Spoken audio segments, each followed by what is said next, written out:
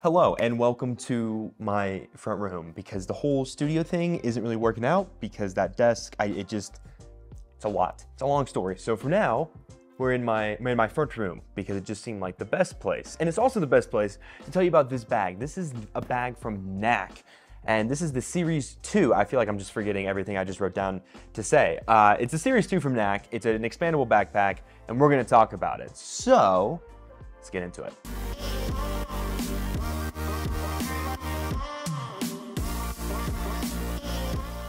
Okay, so this is a 24 liter bag, but if you decide to use the expansion, then it goes all the way out to 35 liters. So this is a great bag for those of us that might wanna pack small and leave it at that 24 liter, smaller, slim-ish backpack size, or for those of us that like this bag and like the way it's laid out and maybe like the fact that it fits what they want, then you can expand it out to 35 liters to have a little extra room for your trip or bring some extra goodies back if you're already on a trip. Okay, so with all of that, let's get into the specs on this bag.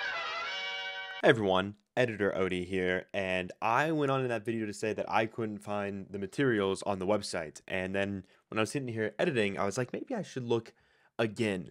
And it's painfully obvious where they are. So here's some B-roll of the bag as I shamefully read the materials out. These materials are made from a lightweight 420 denier high density nylon fabric woven with high twist yarn for great durability.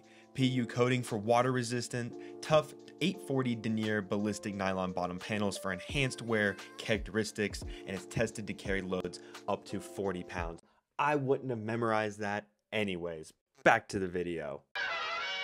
But what I like about the zippers for the most part are the fact that they're lockable. Not to mention the fact that they're all really easy, bulky, beefy zippers to unzip and zip back up if you have this thing kind of crammed out and might need to like do one of those little like sit techniques and then and then wrap the zipper around. You got that. Overall, good material and good hardware. Little weather resistant, but these are not weather guard seals, so you'd want to be a little careful if you got caught in any kind of storm. Let's talk about the comfortability and the wear on this bag. So you have a nice air channel here on the back. I'm a big fan. It fit comfortably. No uh, like load lifters or anything, just a nice sternum strap and then no hip straps. So because this is an expansion-esque bag, when you have it out to 35 liters, you're gonna be wanting careful about how heavy you make it because this does not even have the ability to attach hip straps. So you take that risk of at 24 liters when you're on your way to your trip and everything is good and you packed it out and it's comfortable, but then boom, you expand it out to bring some stuff back. It might be a little bit heavier and you have no way to compensate that. So it's definitely something you want to keep in mind when using this, especially utilizing that expandability and how heavy you might be packing it out. Now for reference, I am 5'8", around 170 pounds. That's what the bag looks like on me. Now this is unexpanded at the 24 liter range. It is a very comfortable bag, like I said, and I feel like it fits all body types. For instance, my partner is five foot and my partner's sister is four foot 11. I recently dropped them off at the airport together and my sister-in-law used this bag and then my partner used another one of my favorite bags. Actually, they used the nutsack. Little joke, pretty fun. yeah, boy. I like that bag, pretty good. Link up here if you want to check that one out. And they both looked like they fit, like these bags didn't look huge or humongous on them. And they're, they're, they're tinier framed people, if you will. So if you're worried about this being big, too big, or too bulky or anything like that, I think it insinuates all frames quite nicely. And you have a very nice sternum strap, easy to adjust, easy to unclip these straps as well because you can actually unclip them and then tuck them away if you wanted to go briefcase mode. So a couple different modes of transport on this as well. Okay, so the thing that everybody ultimately cares about and wants to see is the pockets, what they hold, how it's organized, and like that. So I have this packed out currently for about a three day trip that I recently went on. It's a lot less than I would normally take on most of my trips, but it was a quick weekend trip, so there was no need to overpack. I'm gonna walk you through every nook, cranny, pocket, and how I organized and what they can be used for. Okay, so right off the rip, you have this big front pocket. Now this is going to be your main source of organization. This is where you have the built-in organization of the bag. This would be like their tech sleeve or tech compartment. Now in here, this is where I put my Versa hat from Western Rise. If you like this hat, if you want a nice hat for travel, where the, hat, the bill doesn't bend and it doesn't keep sweat and it's super comfortable, pick one of these up from Western Rise. Discount code ODIE. Get 15% off. Be a happy camper. Be a happy hatter, you know? And with that ad placement, out of the way, we continue. Have a lot of interesting organization bits on this and you can customize this quite a bit. Now, I'm not one to typically use the organization that's built into the bag. I like to utilize pouches and things of that nature. So how I packed this out was simply up here at the top, which is actually a soft line pocket because this is where you put your sunglasses or glasses if you wanted to. I didn't, I didn't do that. So I put in here instead, I utilized it as my quick access because it was the closest thing up top that was the easiest to get into without a zipper. So this is where my headphones and my lip balm went. And then depending on how my travel went, you know, other random assorted items, cash, cards, maybe my wallet would end up every, in there every now and then. You never know when you're traveling and things get a little scattered. Below that, you have just a bunch of flat lay pockets. You have another one right in front of that that's about the depth of my hand. And then you have another two right here with like two other small ones. Just a ton, just a ton of small pockets. Ton of pin organization, as you can see right here where I brought two of my pins with me because I always like to have a pin. And then you have a spot here for a key clip.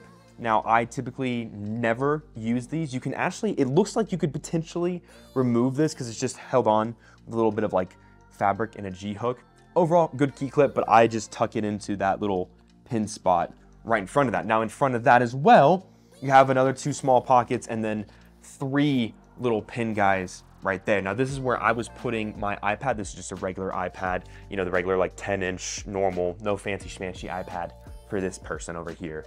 And then directly below that, because it's that's kind of like sitting in its own little pocket, and directly in front of that, sitting just in this whole compartment, is my recipe book. I've recently been writing down and jotting down recipes that I've been working on because I love to cook. I've always said to a lot of people that if I never made a channel about bag reviews, which I love to travel, big passion of mine, my second big passion is food and cooking. And I always said that I would have a cooking channel if I didn't have a, a bag channel. So I've been working on my own little recipe books. And when I cook, I jot down like just stuff like that, which is why I brought the pins with me. And that just kind of sits right there. So overall, up against the bag, lots of great organization, but you also have this guy right here, which is a mesh, another zippered pocket and now this was my security dump. Now I love a good security dump. It's just a pocket where when you're going through security, whatever you have on you, whether it's your boarding passes, bracelets, Apple Watch, phone, whatever it is in your pockets, you can quickly dump that into your bag, put it on the tray for security, and then grab all that crap on the other side so you don't have to worry about putting it in a tray.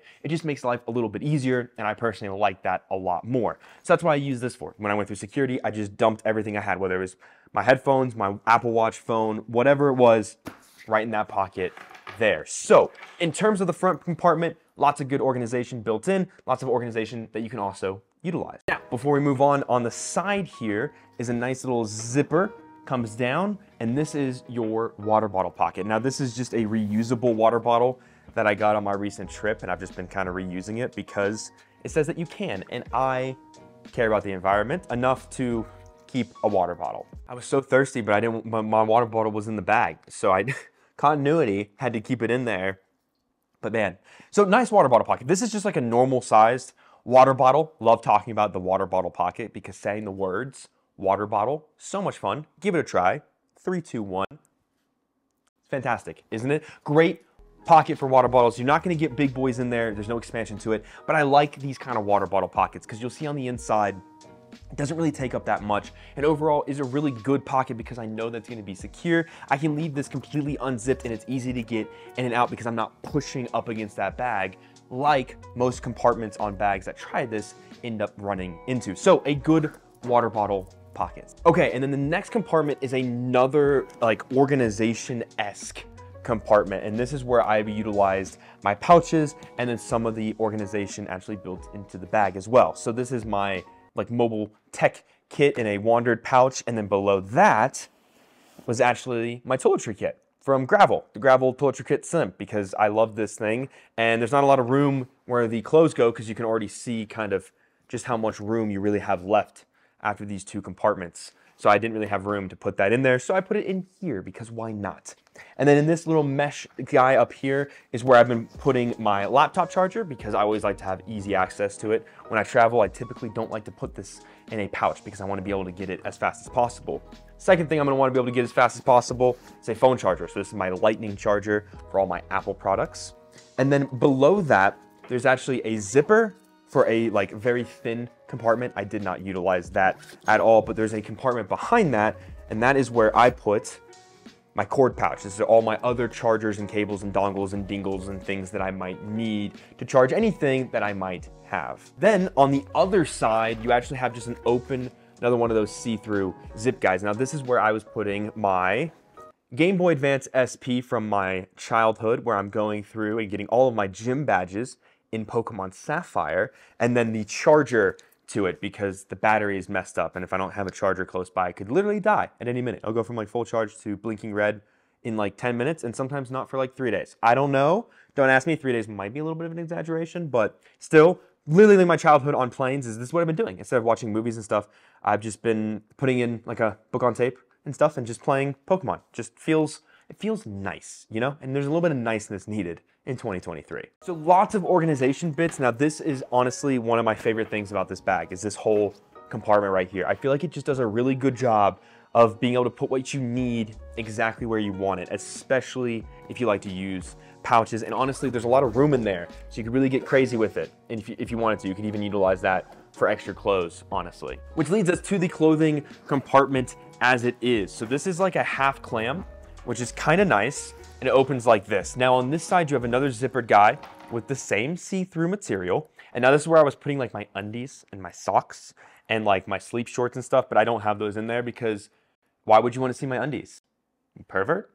Don't pervert on my undies. They're my undies. Get your own undies. I use MeUndies, by the way. By the way, if you don't know about MeUndies, fantastic. Me and my partner do the monthly thing. Love MeUndies. So that's what went on this side, and I was still able to close it just fine. But on this side, you have a nice little like encapsulator type thing, which you can just simply undo, unfold, and then I just had some simple clothing. I brought a hoodie with me because it's still mm, kind of chilly. I mean, here it went from like 75 one day to 20 and snowing, so you never know what to expect. So I brought a hoodie with me, always like to. I brought a pair of shorts because it was supposed to be nice, and it was. It was really nice. So I got I brought a pair of Western Rise shorts, and then just a couple t-shirts, and then a pair of Western Rise pants. And that is your compartment for clothing and everything like that. Now, when you expand it out, you get more on this side. So this is where the expansion comes in. It's all for this pocket. That's where the entire room really comes in. That extra like almost 11 liters is all right here for you. So honestly, really solid for quick weekend trips. I think you can easily put what you need.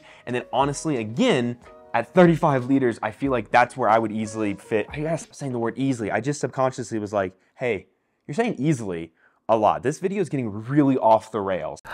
that lovely? and then I said it like three more times. But what I'm getting at is when it's expanded, I can put my Peak Design packing cube in here with my toiletry kit and a couple other things if I needed to. So at 35 liters, this is still a great travel bag. Again, just want to be careful about the weight. Okay, and then the last compartment is on the side here, and that is a laptop sleeve. Fits up to a 16 inch MacBook Pro. Now, there is no tablet sleeve, which is why I utilized that front compartment for my tablet. Um, so your mileage may vary depending on what size tablet you have or what your kind of like tablet computer run setup might be for travel and stuff. But overall, that is every nook and cranny and how I packed this bag out. Again, I think it did a really good job holding up for a three-day travel trip, and I still really believe that when it's expanded out, it can compete as a good, lengthier travel bag that you might want if you're looking for something that's carry-on approved and easy to pack out with plenty of organization and plenty of space. So with all of that, this will be linked down below in the description. It's not an affiliate link. I just, that's where I put everything I talk about. It's always linked down below so you can easily find it if you want to talk about it. If you have any questions, comments, or concerns about the Series 2 from Knack, let me know. I'll be happy to answer those for you in the comments down below. Thank you guys again so very much for all the love and support. You continue to give this channel, means the world to me. Uh, and with all of that being said, I will see you next time.